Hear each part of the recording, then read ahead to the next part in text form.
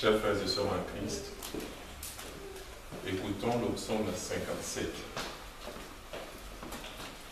Aie pitié de moi, ô Dieu, aie pitié de moi. Car en toi mon âme cherche un refuge. Je cherche un refuge à l'ombre de tes ailes, jusqu'à ce que les calamités soient passées. Je crie au Dieu très haut, au Dieu qui agit en ma faveur.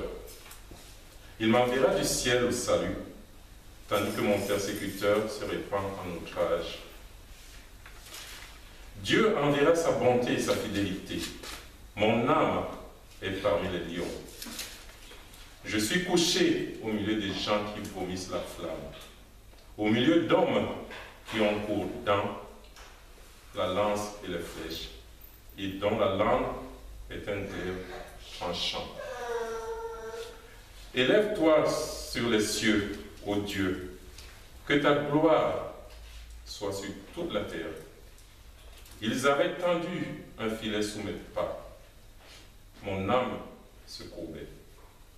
Ils avaient creusé une fosse devant moi. Ils y sont tombés.